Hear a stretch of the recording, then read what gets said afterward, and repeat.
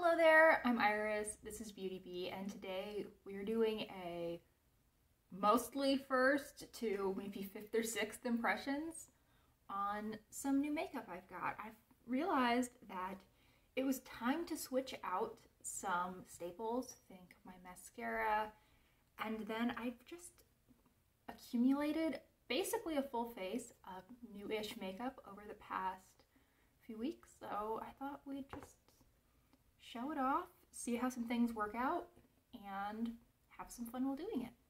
So, I am starting with the product that I've probably used the most, and this is from Laura Geller. It is their Baked, Balance, and Brighten in Porcelain. It's their baked foundation, and I'm going to be applying this just using this little MAC puff.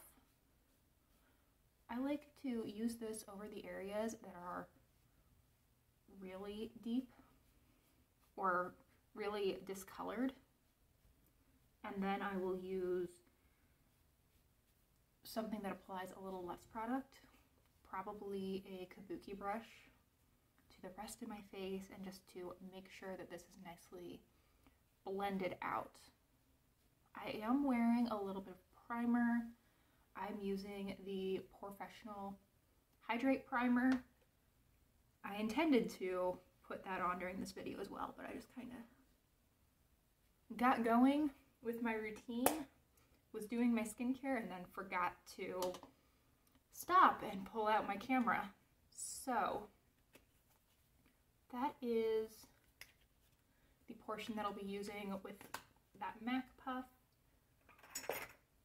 I will be putting it this powder over the rest of my face with this Anjou Kabuki brush. I've had this forever. This is like an Amazon brand. Or, you know, one of the cheap brush brands that sells on Amazon.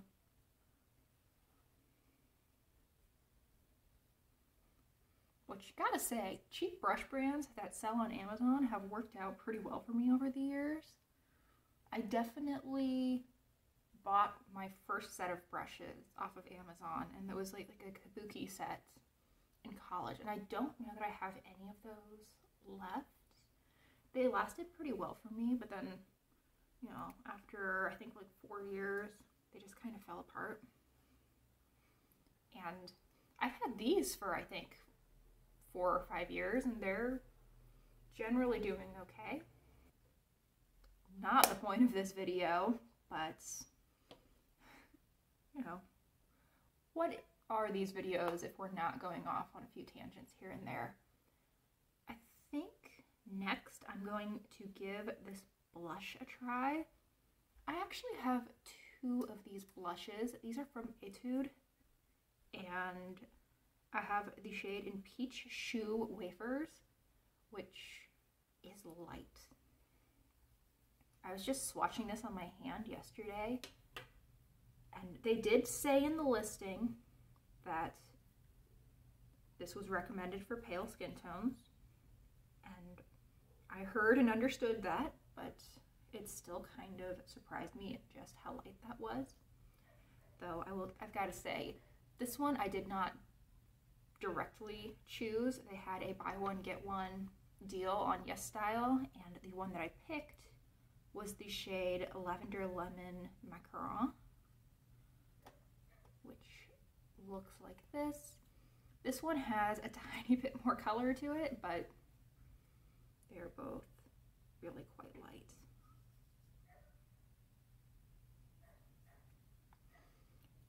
There are those two. That almost looks like some people could use it as a brightening powder. Crazy. But anyway, these come with a little puff, and I'm going to at least try to use the puff we'll see how this works out. So the puff, oh, oh, that's fine. That's really pretty actually. Okay. I had my doubts, but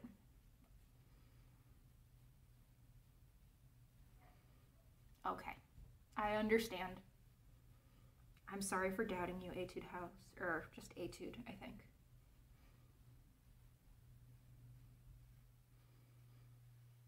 Get a lot of color out of that actually. That's pretty. I don't want to show any self-control with this. I just want to go in.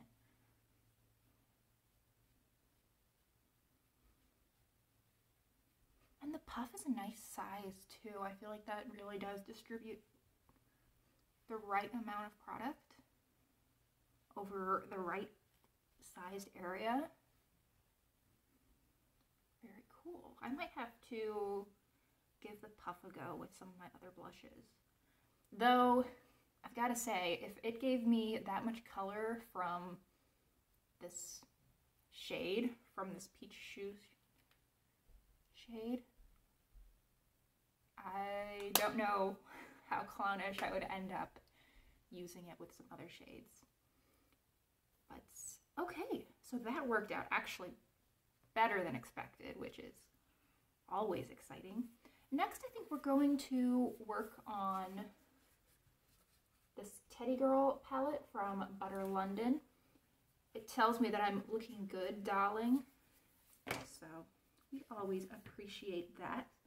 I'm going to start though with some eyeshadow primer. Ooh, lots of eyeshadow primer. I don't have a new one for this. This is just my usual Milani.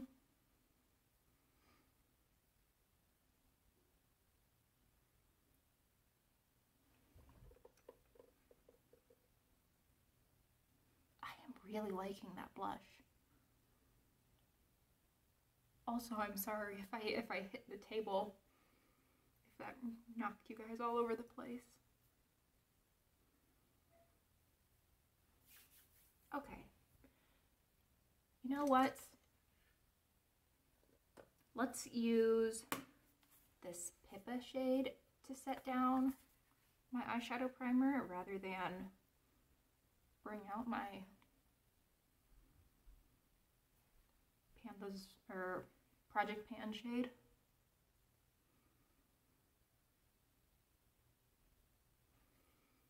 That's a pretty shade. I like that. I like that. It's lighter than what I have been using. Cool. I need to put it a little bit higher.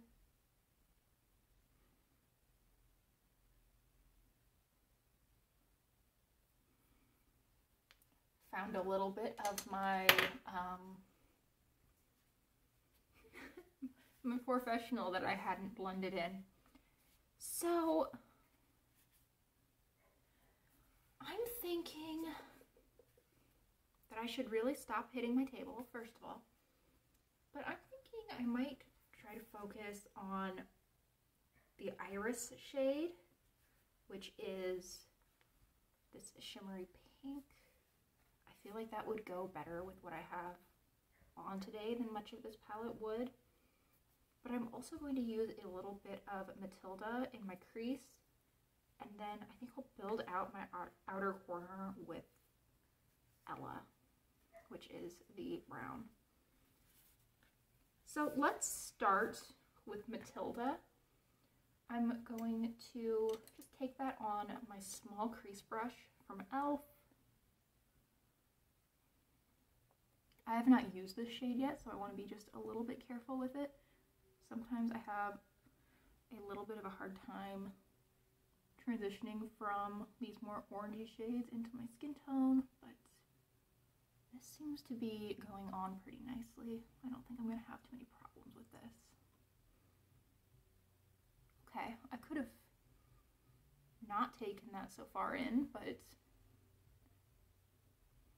I don't I don't dislike it. I think it looks kind of pretty.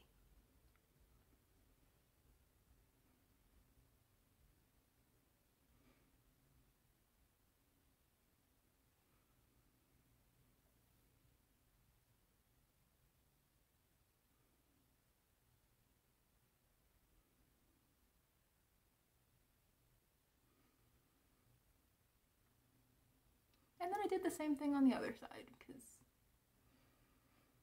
you know, that's the way how to keep your uh, look symmetric is make the same mistake on both sides, then fix it in the same way. Bad makeup pro tip here. All right. So actually, let's apply a little bit of glitter glue. I have used all of these shades, or at least the metallic shades without glitter glue in the past, and they've been okay, but I just want to see how bold I can go with some glitter glue. So I just have a little bit of the NYX Glitter Primer. I'm going to put that all over my lid. And then we'll go in with Iris. All right. So there's Iris. It is a pink shade with a lot of gold to it. Oh, it almost pulls more peachy on my lid. Which can't say that I prefer in general, but I think will actually be really pretty with this look.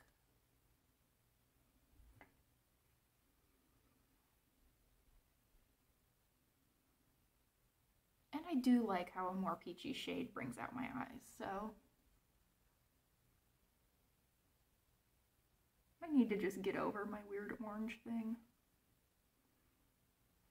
Okay. There really isn't a shade that I want to use in my inner corner in this palette, which I feel is a real downside of this palette. I don't know that there are too many shades that anyone would want to use in their inner corner. Anyway, I'm going to go into Ella, which is the brown in this palette. That's not the brush I wanted. I'm going to go in with Ella on this little crease brush. It looks like this has, me actually swatch it. It looks like this might have, okay, it's, it's softer than I thought it might be. I thought that it might show up as a little bit of a duochrome, but no worries. I guess that people don't really worry about putting on duochromes, but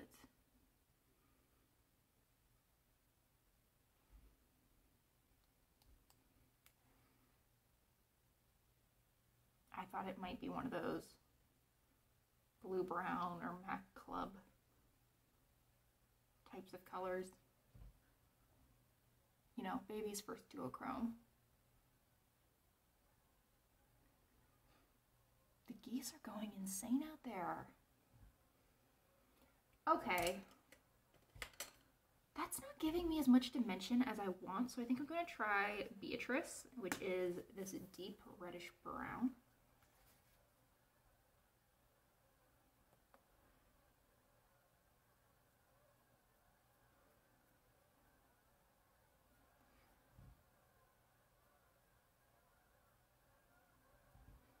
And it's still not at the point where I would ideally be, but I think I'm going to start getting muddiness if I just keep adding more color. So we're just gonna we're gonna call it good for right now. Though I am going to add a little bit more of Beatrice under my lower lash line. Same brush and everything.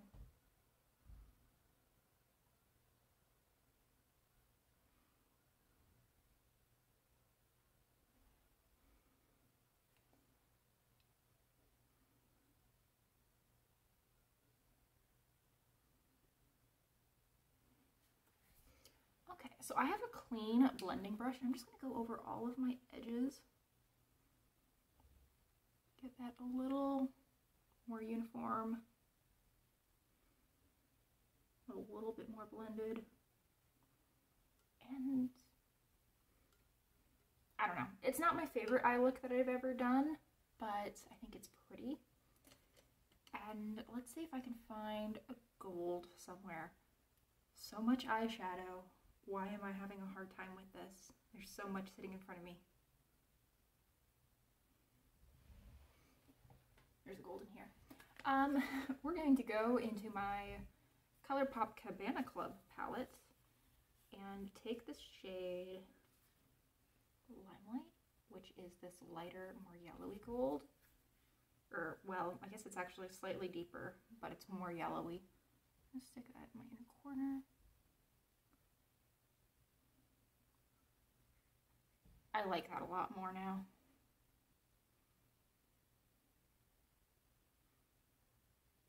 Not sure I was really feeling the basically monochromatic peachy look. So I think that is it for eyeshadow. Now I'm going to do my brows really quickly. I say really quickly as though I know where my brow stuff is. This is actually the opposite of a new product. I'm probably within a week of finishing this thing off. But you know what? I'm excited because I just want to have some decent empties for the month of March. My February empties was really sad. And I know I'm making good progress towards that goal because I feel like I have four or five empties already, including like two full-size products which I don't know that I had any in my last month's empties video. And it's not even March 1st as I'm filming this. It's February 26th or 27th.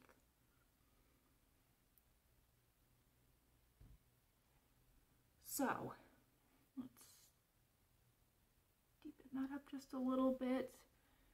And I think we are good to go there. Next up, I do have a new mascara. I decided it was time to open a second mascara. I have been using this YSL one consistently over the past week or so. Um, I decided that it was time to toss out my IT Cosmetics one that I'd been using in tandem with this. And this is a really nice mascara, but it is a very large brush. It's a little bit hard to maneuver. And this does not give a subtle look. This gives a lot of lash. And while I do like that a lot of the time, I find that sometimes I, it's a little bit too much. It can be a little bit too clumpy. And I find it very difficult to use on the lower lash line. So I'm hoping that this Rare Beauty mascara I don't know that there's another name for this. If there is, I will try to put it up on the screen. I'm hoping this Rare Beauty mascara will fill some of the gaps for me. So there's what that brush is looking like. I kind of thought it would be thinner based on the packaging, but we'll see. We'll see how this goes.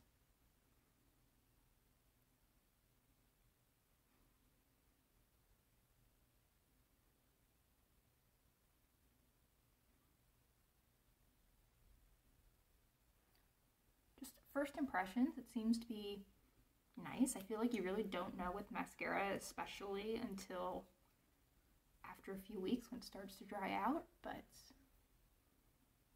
I'm pretty happy with this. That was a, there was a clump there, but I think that was probably me not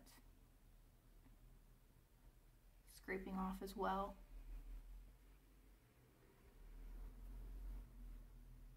I think this is too wet to use on my lower lash line right now, but I don't need to wear lower lash line mascara every day. So that's good. Um, shall we do some lips? Let's give that a go. I have three never been worn lip products. First is the other item from my little YesStyle haul. This is from I'm Mimi, and this is their mystery lip tint, and I believe it's called Mysterious Rose, though I will check that. And it is a matte liquid lip. I didn't notice the scent on this yesterday. I don't know what that smells like. It's some kind of candy. It smells actually really good, but this stained my hand yesterday when I swatched this. Um, and I've probably washed my hands like six or seven times since. So I'm not going to try this on. I don't think that it really goes with the rest of my look today. Instead, let's try out this Jason Wu Honey Fluff liquid lip, which is actually a really similar idea. These are both kind of like the, what's the NYX Soft Matte Lip Creams, which I loved back in the day.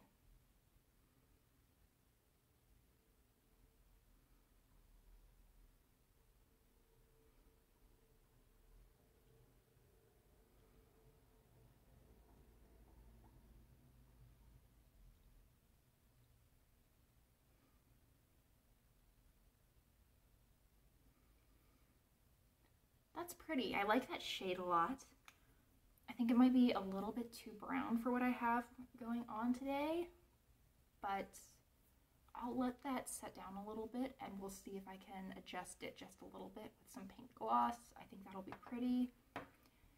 And let's turn to the rest of my face. I'm not sure that I want any bronzer today because I actually really like the complexion. I love that blush so much. Hope it wears really well because I think that's gorgeous. A little bit of transfer, but not a lot. Um, let's see. Yeah, I'm going to try using this Tarte Sea Gloss over it. This would be in the shade Villa. So, just put a little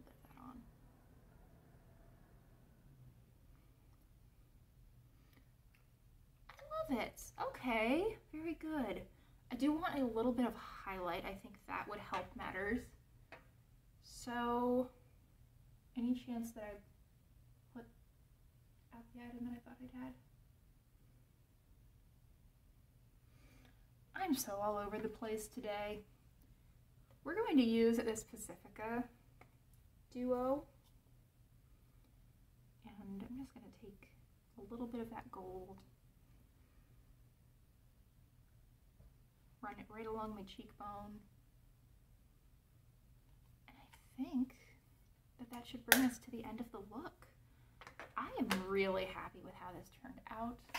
I don't know that I will be doing this exact eye combination again, though I think that the gold really did help matters. This is just a little bit too peachy orangey for my taste most of the time, though I am wearing my shirt does have quite a bit of peach or orange to it, and actually there's there's more lower down that you can't really see. So it at least goes with my outfit today. The mascara is looking really pretty. It's definitely on the wet side, but I'm guessing that over the next couple of weeks it'll dry down. I'm really interested to see how this works for me about a month from now. I feel like that might be really great.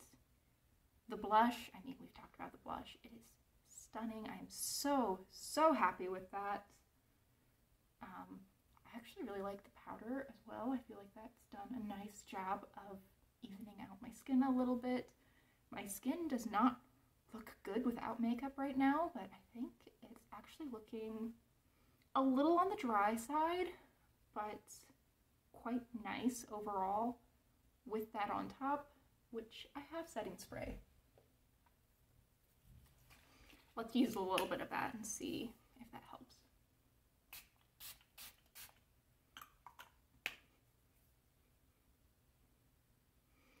It's the coconut one from e.l.f. So even if it didn't help, it was delightful to just spritz on.